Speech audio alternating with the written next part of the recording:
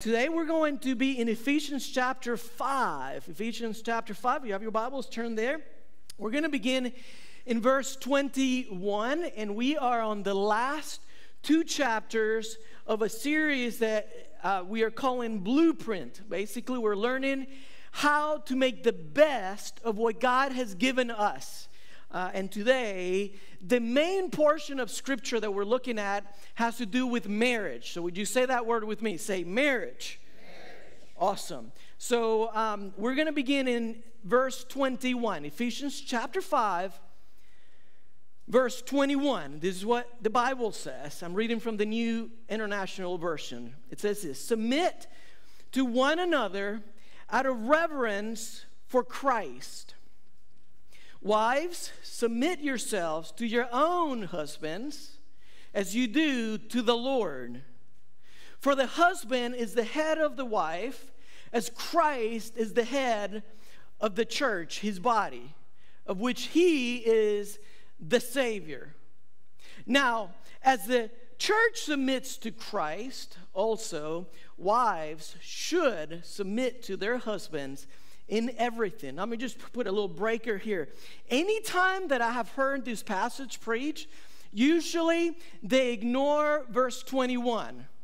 And I don't know why it is, but they, the very first verse that we begin with, they don't usually include. And usually the emphasis is on the wife submitting to the husband. That's usually, and I don't know about maybe your experience is a little bit different than mine, but every time that I've heard this passage being preached, the emphasis is verse 22 and forth, like the wife submitting to the husband. But if you look at the whole thing, if if like if we're gonna look at the the entire the whole counsel of God's word, you gotta include verse 21. You can't get away with with uh, excluding it, right? And so I think that according to God's word, the command here is mutual submission. All right, so God says, verse 21, one more time submit to one another out of reverence for Christ. And then God speaks directly to the wife, and he speaks directly to the husband. Verse 25 Husbands, love your wives just as Christ loved the church and gave himself for her. We're going to stop there today.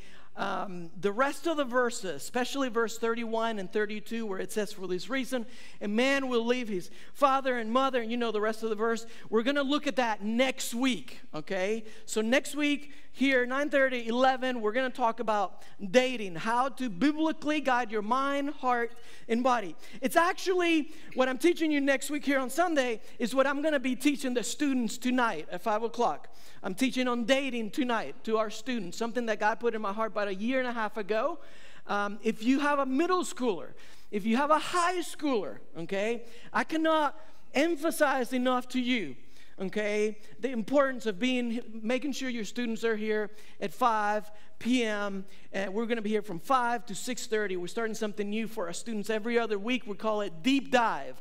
And so I hope uh, if you know, if maybe you, your kids are grown, but you know somebody else that could benefit, I'm, I'm just begging you, okay? This is not something, this is something that I, uh, for two years God's put in my heart, and it is content that our students, young people, need to hear. Now, I'll be honest with you, I was reviewing the information and it is so good. It's stuff that has helped me so much ever since I was in college that I'm gonna I'm gonna turn around and teach it to you next week. Okay? So that is tonight. I hope you can help me with that. Um, the title of our message today is this Seven Reminders to help you love your spouse. Seven reminders to help you love your spouse. Let me, let me give you a disclaimer, okay? Um, these are reminders. These are things that I'm learning. These are things that I picked up from other teachers, other communicators. Um, I have not arrived, okay? Uh, like, this is not like, uh, like each one of these points, you know, they're so convicting to me personally.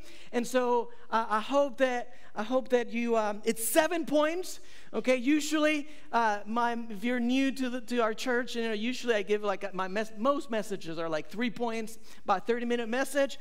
Um, if I have a fourth point, we go 40 minutes. Well, today, seven reminders, all right? so fasten your seatbelts. We're gonna go fast, but it's really, I really believe this is, and I think I have confidence to say this because it's stuff that, not that I've created, but I've learned. And so if you're not a note taker, I really encourage you take some notes because you're going to need the reminder. Okay, and uh, the the subject is submitting to one another. Now, if you're here and you're not married, okay, let me tell you this: each one of these seven principles is transferable. Okay? So all you have to do is substitute the word spouse with the word friend or the or coworker or family member. Okay, and I'll let you do that on your own. But every single one of the seven principles is stuff that you can apply to your life, even if you're not married. Okay, let's begin with the word of prayer and we'll get into it. Father God, I ask that you would help me right now not to mess this up. Lord, you know my heart, you know my imperfections. And so, God, I, I come to you today as a student of your word, as someone that wants to grow, as someone who's just not willing to give up. And so, God, I pray that you would speak to our hearts and minds. God, I pray that there will be um, a truth that's spoken today that will be so convicting that would change our lives. And God, we dedicate to you the next 20 minutes. We pray in Jesus' name. Amen. Okay, the first reminder, seven reminders is this. Write this down if you can. Take a picture of the screen, that's fine. Uh, it's this. You have no idea how one conversation, one word of encouragement, one expression of love might change your spouse's day. Now, that could be a friend's day, it could be a coworker's, you fill in the blank, and I'll, I'll let you do that the rest of the message, okay? One conversation that's all it takes. One expression of love, one word of encouragement. So, about two and a half weeks ago, I was listening to this neuroscientist. And um, it was incredible what he was saying. He's this guy from Argentina, world renowned doctor, leader, uh, very smart individual. His name is Facundo Manis. He has a PhD from Cambridge. And uh, he was doing sort of like a, a TED talk Okay, and I say sort of because it was in Europe. It was actually in Spain, and it was not a TED talk, but it was the same format. He was speaking to a younger crowd, and um, and he the, the the subject, the name of his of his talk was "Know Your Brain in Order to Live Better." Know your brain in order to live better. I don't even know if the guy is a believer or not, but to me, it was fascinating. The content, just looking at it from a scientific point of view, it was incredible. And so what he is that there are, that neuroscience has this discovered this thing and they can pretty much predict whether a team is going to be successful or not. They have said, and when they talk about a team, they're talking about any group of people, right? It could be a team at work, it could be a marriage, a couple of people, it could be basically any group of people working together for a common purpose. And so he says that there are a number of things that neuroscience has discovered because of the way the brain works, because of the, the way that our, our brain is wired, that they can predict whether a group of people, a team, will be successful or not. And at the top of his list, this guy said this We know that a team will be successful if the team members if that, if that group of people have high levels of empathy, and he talked a little bit about cognitive em empathy and emotional empathy. Basically, people who, who can laugh when you laugh, people who can cry when you're crying. He says, people who truly have joy, like you're getting awarded, you're getting recognition, and they're truly, sincerely happy for you and with you. He's, he was talking about if you have a group of people and they can, they have the ability, not everybody's like this, but if you have a group of people and they have the ability to imagine what somebody else is feeling, they say, neuroscience says, they've discovered that if you have a team like that, it's one of the signs that that team will be successful. So I think when God says, submit to one another out of reverence for Christ, I believe that in part what God is saying is try to understand one another. Try to love one another. Try to be patient with each other. Try to like like hear each other out. Have a little bit of empathy. Now, of course, Jesus is our great example, right? The Bible says in Hebrews chapter 4 verse 15, it says this. Let's put it on the screen. It says, We do not have a high priest, that's Jesus, that's our Savior. We do not have a high priest who's unable, look at that next word, to what? To empathize with our weaknesses. No, we have one who has been tempted in every way, just as we are and so, number one, how do we submit to one another? How do we love each other? First reminder is you have no idea how one kind word, how one little thing, one um, expression of love may change your friends, your coworkers' day, your spouse's day. Number two, write this down. Your spouse is facing battles you know nothing about. Your spouse is facing battles you know nothing about. Now, there is a lot of things that I share with Leah. There's a lot of things that she shares with me. We've been together for a long time. We've known each other for a long, long, long time. We actually met um, in college. I was going to Bible school, it was a Christian school. Um, she was getting her degree in elementary education, and um, we were actually headed to church. It was on a Sunday night. Long, long, long, long time ago. In fact, I'll tell you how long. Let's put it on the screen. I actually had to look this up. It was on a Sunday night, September 27th, 1998. 8,729 days ago. That is a long, long time to be putting up with, to be submitted to one another. I'm sorry. So we know each other, right? Like we've, been, we've spent a few days to, together, right? And yet I can tell you there are battles that she faces that I don't understand. And I can tell you there are battles that I face that she'll never understand. I mean, to the full extent, right? Like I'll never really know what it feels like to be the pressures of being a pastor's wife, be living in a fishbowl when everybody's looking your way, and you know the the the, the difficulties of that. I, I, can try to imagine, I can try to understand, but I'll never fully understand the challenges, the pressures, the difficulties. And I guess what I'm trying to say is we're we don't really know to the fullest extent what that person that we love is going through. I guess what I'm saying is we're not God. Only God knows, only God is omniscient, right? Only He knows everything. So on Tuesday, I said, I said, honey, um, I said, I'm teaching on marriage this week, you know. Uh, and I said, you know, usually any time that I teach on marriage, we get into a huge fight, okay? so I was like, hey, Tuesday is like my message prep day when I like really go to town and like it's a full day of like really intense thinking. And, uh, Excuse me. Excuse me. And I said, honey, on Tuesday, uh, I'm teaching on marriage. In other words, let's make sure that we don't fight this week, okay? It'd be nice, it'd be nice to go to a message on Sunday without a fight. Uh, well, that didn't happen, but it's all good, you know? um, so uh, I said, what, jokingly, I said, what do you want me to tell them? and she quoted Ephesians 4:32. We didn't get a chance to cover it last week. Last week we, took, we looked at Ephesians chapter 4, but Ephesians chapter 4 says, "Be kind and compassionate one to another, forgiving each other, just as in Christ God forgave you." It's a question for all of us. How kind, how compassionate are you?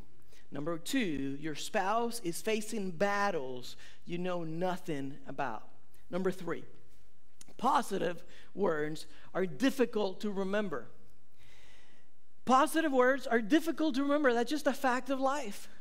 Negative words, they're difficult to forget. I don't know why it works like that, but that's the way it works. I need a volunteer. I need somebody that knows how to use a hammer. Can I get somebody? Can I get anybody that, to come up here? Justin, would you come up here? Thank you, buddy. You guys give it up for Justin.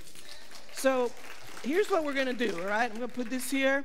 You see this, this X? I want you to kind of nail this thing right there, okay? This wood represents a person. The nail represents negative words, okay? So please don't hit your thumb. Uh, no bad words. If you miss, you know, like a little bit more. Up, oh, missed. There you go. One more. Good, good deal. All right, thank you, buddy. Don't go anywhere. Just stay there for a minute. Um, so, so the wood represents a person. The nail represents what? What do we say?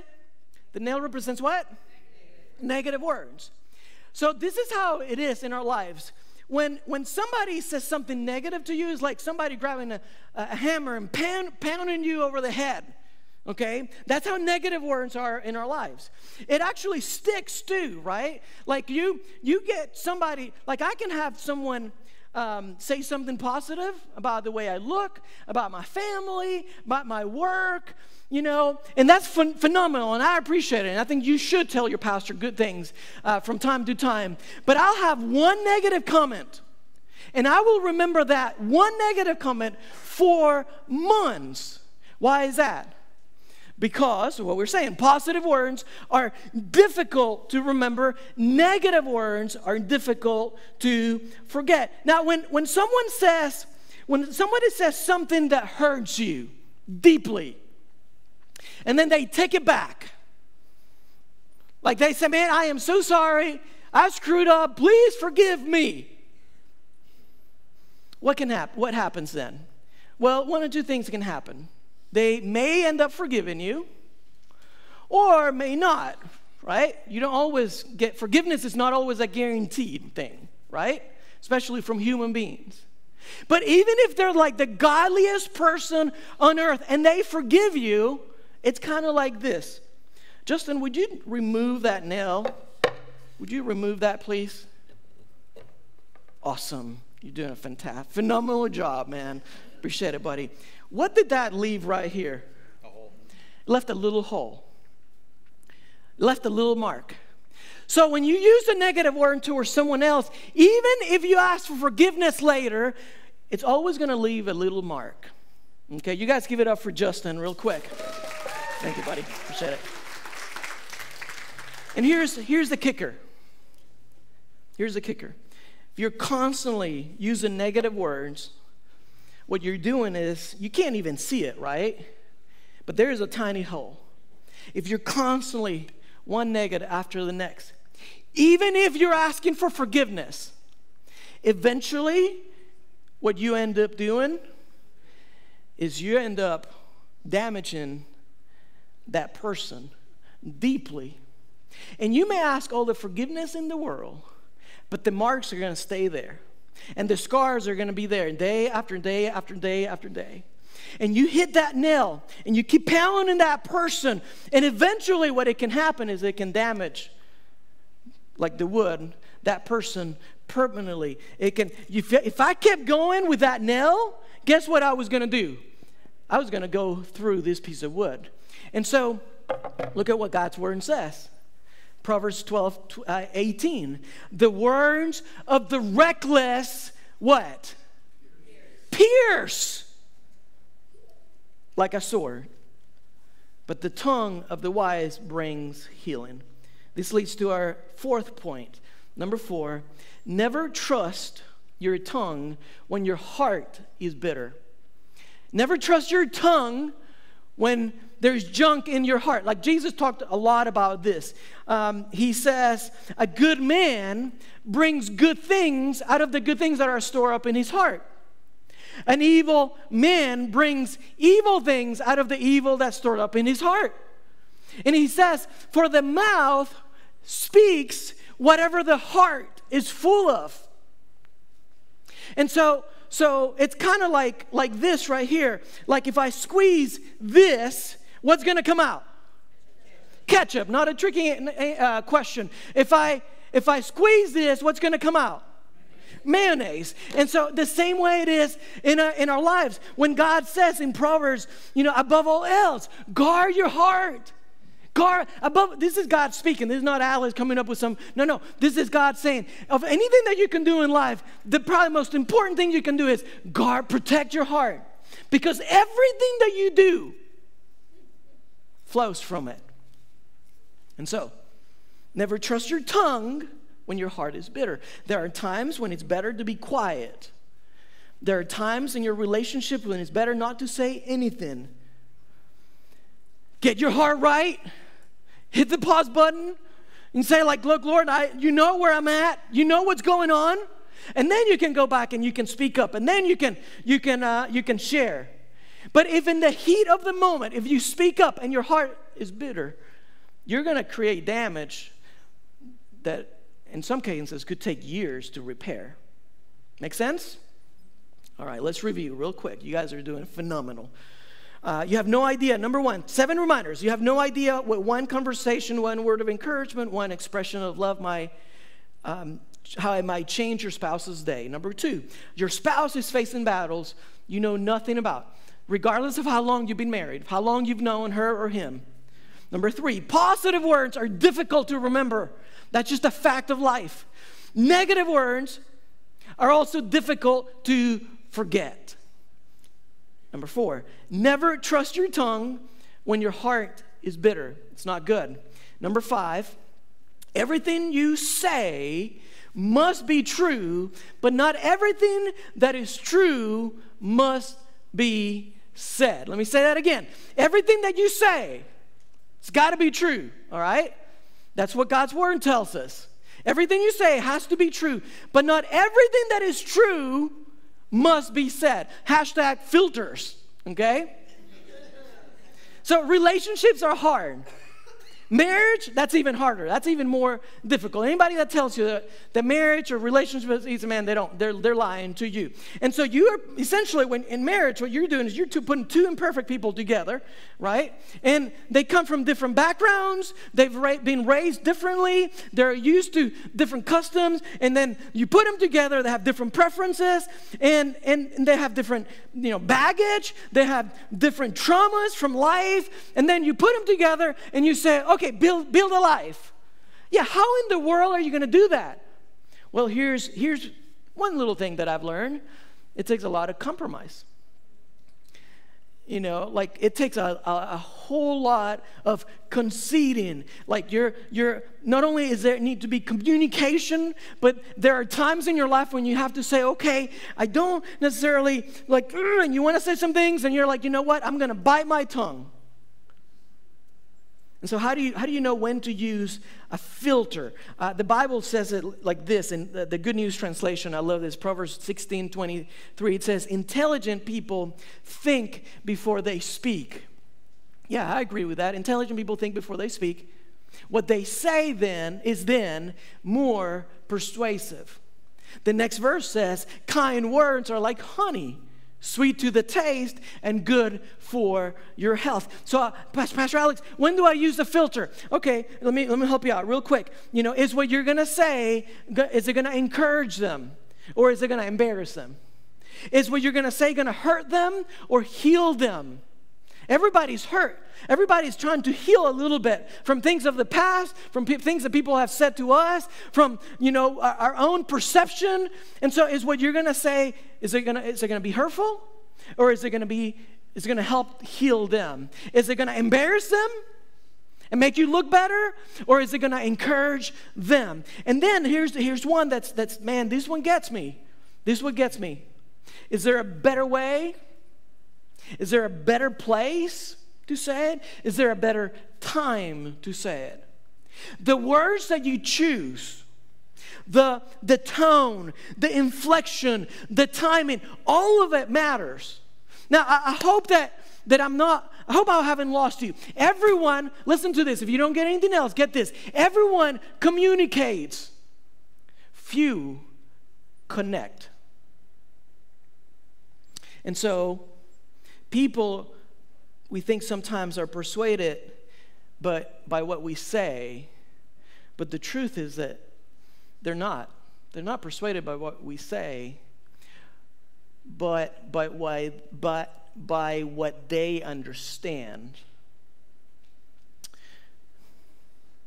And so you've heard the saying, you can lead a horse to water, but you can't make him drink, right? You've heard that, it's true can't lead a horse to water, you can't make him drink. But it's also true that you can feed him salt and make him thirsty, right? Pastor Alex, what are you saying? You just lost me. This is what I'm saying. Be wise. Be wise. Bible says, Proverbs 18 21, death and life are in the power of the tongue. Everything that you say must be true. Not everything that's true needs to actually be said. Use some filters. Be wise. Number six, you guys are doing phenomenal. Two more. We're almost done. Number six, when you serve your spouse, you're serving Christ. I really think that's the heart of what we just read earlier, right? Wives, submit yourself to your own husbands as you do to the Lord. I don't see anything wrong with that verse. I think it's been taken out of context. I think it's been misused and abused for the sake of control.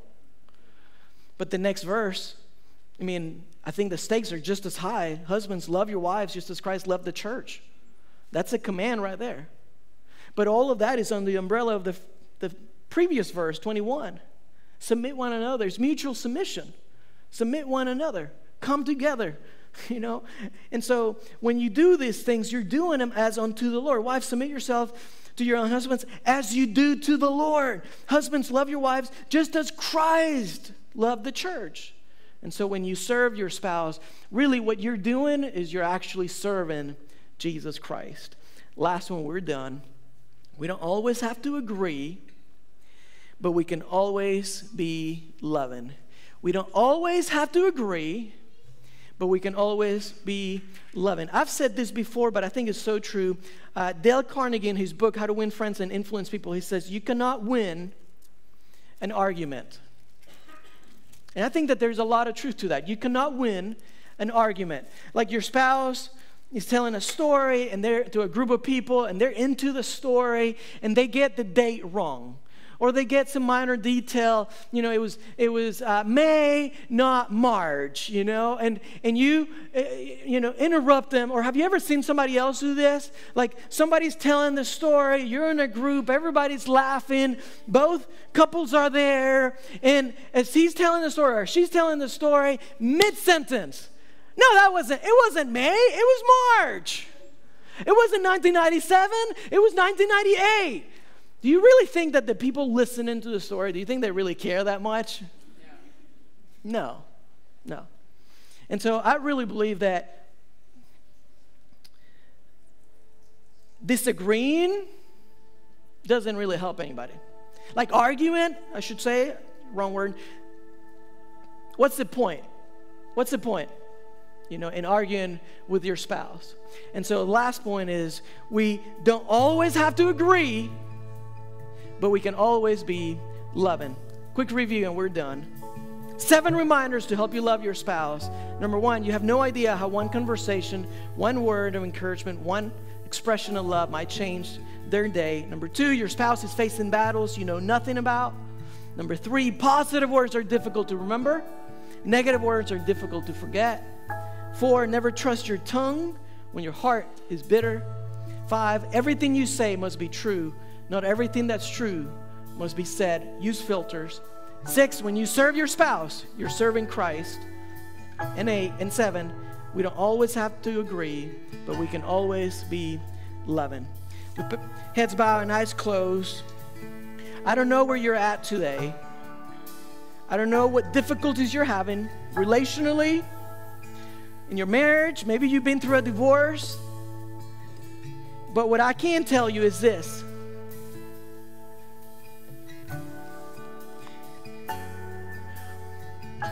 you can be a little bit better. You don't have to settle.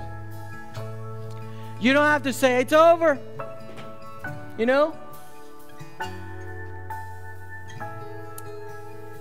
And I don't know in what area of your life this message spoke to you. But I want you to know that